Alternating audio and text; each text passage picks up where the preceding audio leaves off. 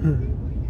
but what you can't feel, and what I can't feel because this compartment is air conditioned, is the slow, enormous build of a hammer-like heat that will reach a crescendo just before the monsoon in not too long, maybe about a month from now. The rains have already started up north, but down here on the flat plains of India, things are moving a little more slowly. My plan at the moment is to go from Delhi to Jaipur, uh, but we'll have to see if that's possible.